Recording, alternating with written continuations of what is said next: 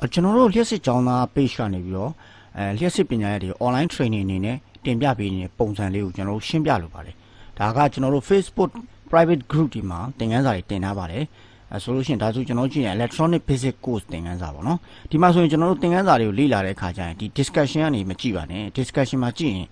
comment ပေးထားတဲ့မိတ်ဆွေတွေရဲ့ comment တွေမြင်ရမယ်အဲ့တော့ သင်ခန်းစာတွေကအပေါ်အောက်အပေါ်အောက်ဒီနဲ့အစီအစဉ်တခြားမဖြစ်ဘူးအစီအစဉ်တခြားမဖြစ်ပဲနဲ့ကပောက်ဒီကပောက်ကြဖြစ်နေတယ်အဲ့ဒါကိုကျွန်တော်တို့ကဘယ်လိုလုပ်ပေးထားလဲဆို social learning unit ပေါ့နော် guide လို့ခေါ်တယ်ဒီမှာ guide ဆိုတဲ့စာသားလေးကိုနှိပ်လိုက်လို့ရှိရင်ဒီမှာကျွန်တော်သင်ခန်းစာတွေအစဉ်လိုက်မြင်ရမယ်နော်သင်ခန်းစာ unit 1 unit 2နော် unit 3 register unit 4အဲ့လိုမျိုးအစဉ်လိုက်မြင်ရမယ်အခုတစ်ခုခုကိုကျွန်တော်တို့ကြည့်ချင်တယ်ဆိုလို့ရှိရင်ဒါနှိပ်လိုက်မယ်ဆိုပါစို့ဒါနှိပ်လိုက်မယ်ဒါနှိပ်လိုက်မယ်ဆိုရင်ကျွန်တော် capacitor အခန်းကိုရောက်သွားမယ် capacitor အခန်းကိုရောက်သွားမယ် unit 4တဲ့ကသင်ခန်းစာ16 variable capacitor အကြောင်းအော်ဒီမှာဆိုရှင်ကျွန်တော်တို့ဘေးမှာဆိုရယ်တန်းစီပြီးမြင်ရဖုန်းနဲ့ကတော့မြင်ဝင်လေးနည်းနည်းကျင်းတယ်ဒါပေမဲ့အတူတူပါပဲဖုန်းမှာလည်း guide တွေဝင်လိုက်ရင်ဒီလိုမျိုးမြင်ရပါလိမ့်မယ်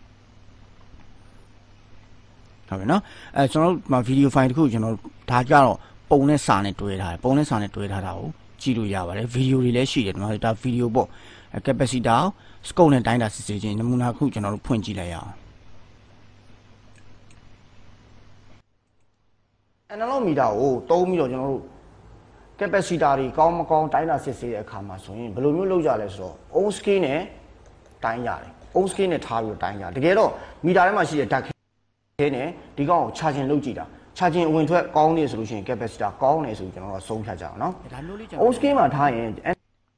ဒီလိုပုံစံမျိုးလေးကျွန်တော်တို့လေ့လာလို့ရပါတယ်ဗီဒီယိုတွေရှိတယ်အပြီးသွားပြီဆိုရင်ကျွန်တော်တို့ကဒန်းကိုနှိပ်လိုက်မယ် ဒန်းဆိုစာသားလေးကိုလေ့ကျင့်ပြီးသွားလေ့လာပြီးဒန်းကိုနှိပ်လိုက်မယ်အဲဒါဆိုရင်လိုက်မပေးလဲရတယ်ဘာမှမဖြစ်ပါဘူးเนาะဒန်းနှိပ်လိုက်ရင်ဒါဒီလေ့ကျင့်ခန်းကိုကိုလေ့ကျင့်ပြီးဆိုပြီးတော့ပြပါလိမ့်မယ်ဒါဆိုလို့ရှိရင် capacitor on delay နဲ့ off delay တွက်ချက်ခြင်းဒါပုတ်စာပေါ့เนาะအဲဒီလိုမျိုးလေးကျွန်တော်တို့မြင်တွေ့ရပါတယ်အဲဒါဆို capacitor ရဲ့ထိတ်ကအစုလေးတွေကဘာလို့လောက်ထားရဆိုတဲ့သဘောတရားကိုရှင်းပြတာပေါ့နော် capacitor ထိတ်စာရှိမြင်းကြောင်းများဟုတ်ပြီကျွန်တော်နောက်ထပ်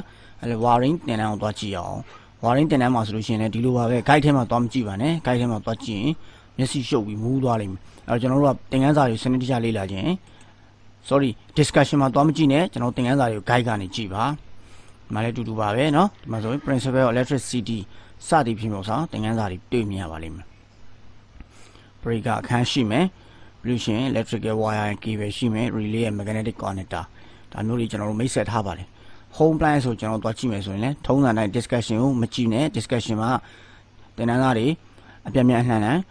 discussion ပေါ့နော်ဆွေးနွေးထားတာရှိတဲ့အတွက်မျက်စိရှုပ်နေပါလိမ့်မယ်အဲ့တော့ကျွန်တော်တို့ guide ကနေပဲကြည့်ပါ guide ကိုဝင်လိုက်ရင်စနစ်တကျမြင်ရပါလိမ့်မယ်လျှက်စင်မီးဖို့၃မိနစ်ရင်းနှီးကိုဒဲနီကိုမီးဘူး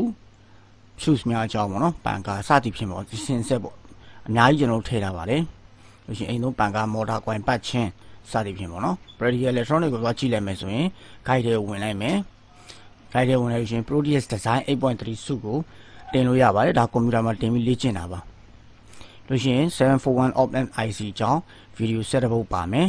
လို့ရှိရင်55 timer IC ရင် is application က36ပုံရှိပါတယ် logic gate တွေအကြောင်းပါမယ် transistor circuit တွေ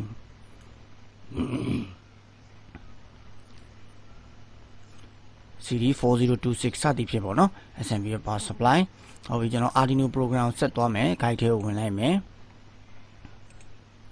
မလမ်းစီပြီးတော့ရှိတယ်နော် Proteus design ဆိုဒီ LED project ဒီ digital input output sensor များစသည်ဖြင့်ပေါ့ aircon aircon electronic ထဲမှာဆိုရင်မီတာအသုံးပြုခြင်းမိတ်ဆက်ခြင်းပေါ့နော်မီတာတွေပေါ့ချို့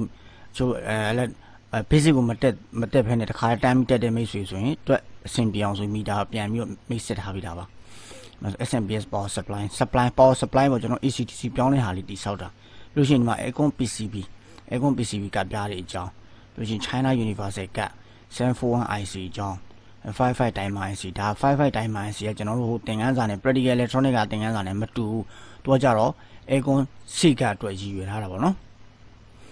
logic gate တွေပြန်ပါထားတယ် safe guard မှာလည်း safe guard ပေါ့နော်ဟုတ်ပြီ စိတ်ကတော့ PIC microcontroller နဲ့ဘယ်လိုတွဲအလုပ်လုပ်တယ်ဆိုတာရှင်းပြထားတာဒါ SMPS power supply ပေါ့နော်ဟုတ်ပြီနောက်ထပ်ကျွန်တော်တို့ CRT TV ပြုပြင်ပြင်ဆင်ခြင်းကတော့ဒီတင်ကန်းစာကတော့တင်ကန်းတင်ကန်းအစ်စ်ဖြစ်တဲ့အတွက်တင်ကန်းစာအများကြီးမရှိသေးဘူးဒီတော့နောက်နောက်ပိုင်းပြန်လဲပြန်ပြီးအစ်စ်ဖွင့်မယ်တင်ကန်း electronic ချိန်ကပြန်လဲဆွေးနွေးခြင်းဆိုတာကြတော့ဒီမှာကကျွန်တော်တို့ CRT TV ကိုလေ့လာမယ်ဆိုရင်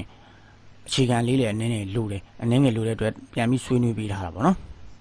ဒါပဲရှိပါသေးတယ်ဒီကောင် အသစ်ပြင်ဆင်နေတဲ့တင်တန်းဖြစ်တဲ့အတွက်ဘာမှမရှိသေးပါဘူး။